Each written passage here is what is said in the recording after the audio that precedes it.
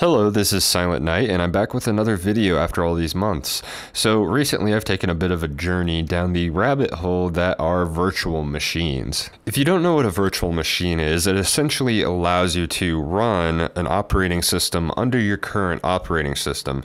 And in my case, I wanted to try running Windows 11 under Windows 10 so that I could, you know, try it out first before actually upgrading my computers and the company I work with's computers because I'm an IT guy. While I was at it, I decided to try something I haven't tried before, and that's installing my video editing software Vegas Pro inside of a virtual machine. Vegas Pro, in my opinion, is the best, worst video editor. It's the best because, in my opinion, the workflow is superior to that of Premiere Pro, DaVinci Resolve, HitFilm, or Avid. I might feel this way personally because I'm a music producer. That's where I come from, and I'm used to using a digital audio workstation. And the workflow is very similar to that of a digital audio workstation because Vegas Pro used to be a digital audio workstation.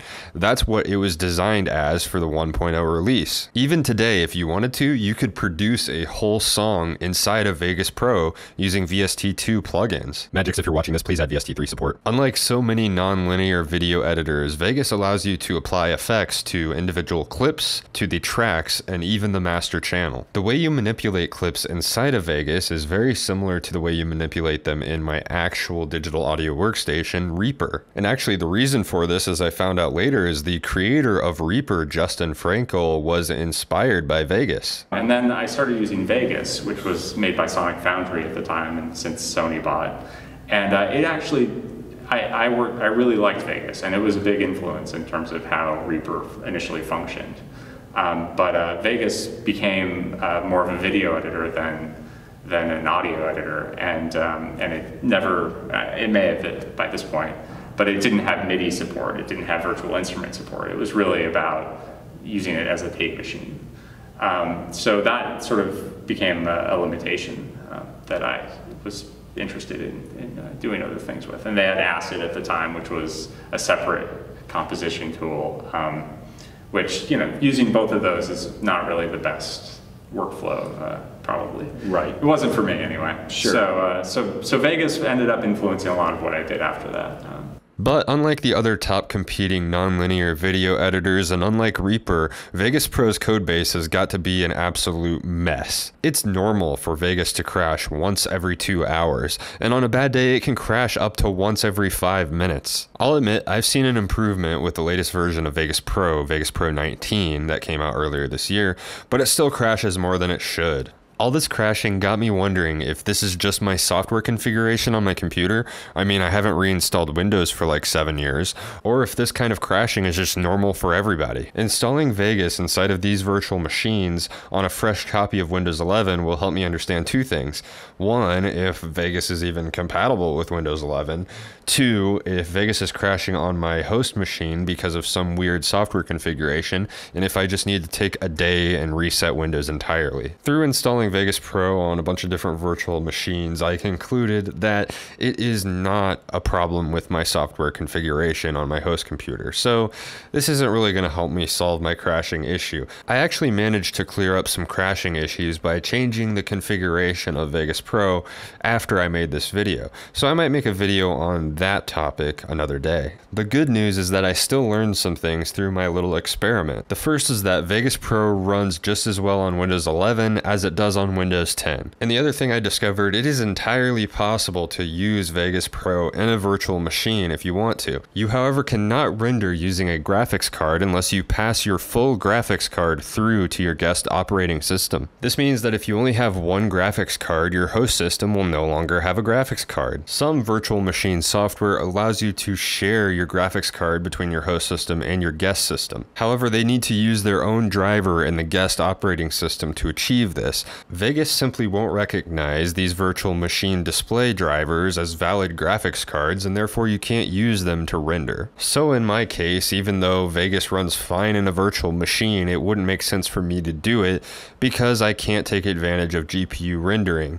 And as we all know, CPU rendering is so much slower than GPU rendering. And that brings me to the third thing I learned while doing this little experiment, and it's probably the reason you're watching this video to begin with. In an effort to see see if any virtual machine software would allow me to do GPU rendering inside of Vegas without passing a graphics card through. I tried out three of the most popular free virtual machine softwares Hyper-V, VirtualBox, and VMware. As I said earlier, none of them would let me use the shared GPU in Vegas to do a GPU render, but I didn't want the experiment to go to waste, so I went ahead and did CPU renders inside of all of the virtual machines to see which virtual machine software gives the best performance right now. As you can see from my graphs here, Hyper-V is the clear winner when it comes to CPU performance in a virtual machine, coming in only one minute behind the host system. VMware Workstation 16 comes in at a close second, being only four minutes behind the host system, and VirtualBox lags way behind, coming in at 77 minutes in total.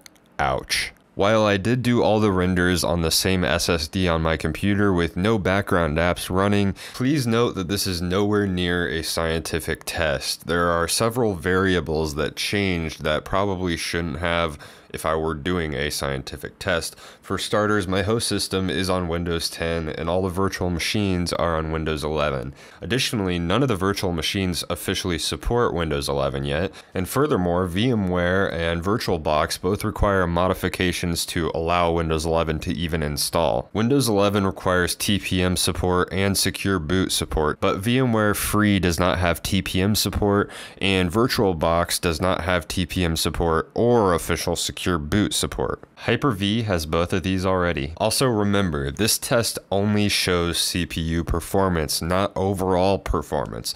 While Hyper-V kicks butt in CPU performance, and I'd probably recommend it for, you know, running virtual servers, it wasn't the best desktop experience. I would give that award to VMware. VMware allows you to share your full GPU with your host system, and while Vegas Pro can't take advantage of this for GPU rendering, the overall desktop experience can, and it's noticeable. The desktop experience does feel a lot smoother on VMware than Hyper-V. Hyper-V does not have any shared GPU functionality at all anymore because Microsoft removed it due to a security vulnerability. Like VMware, VirtualBox also has this functionality, however it's limited to sharing only 256 megabytes of your graphics card VRAM, which is nowhere near modern levels of graphics card VRAM.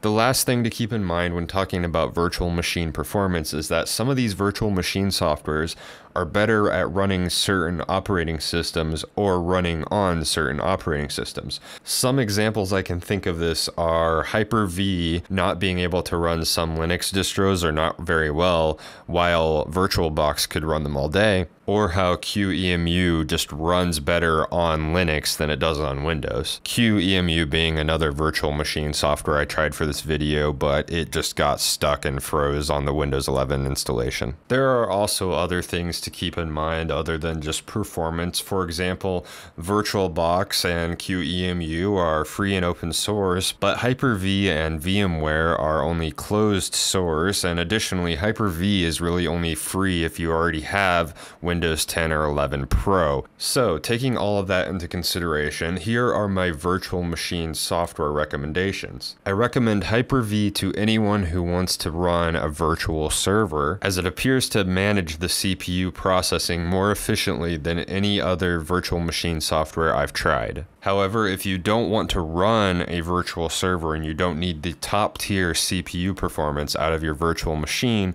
I would go with VMware as the overall desktop experience will feel smoother thanks to the GPU sharing with your host system. As for VirtualBox, I wouldn't use it for Windows virtual machines as the desktop experience when I tried it was barely usable. But I'll recommend it for anyone wanting to run, you know, some obscure version of Linux that is not supported by Hyper-V or VMware, and I would recommend it to anybody who wants to support open source software. Lastly, I recommend QEMU to anybody trying to emulate an actual hardware chip, as it might be the only one that even has that functionality, but I wouldn't recommend it for really any other purpose because I mean it's not very user friendly. You run the thing from a command line. So if you're not comfortable with that, I'd stay away from QEMU. All my recommendations here are subject to change when these virtual machine softwares actually add proper Windows 11 support. But for now, that is my verdict. If this video helped you at all, make sure to put a like on the video and subscribe to the channel,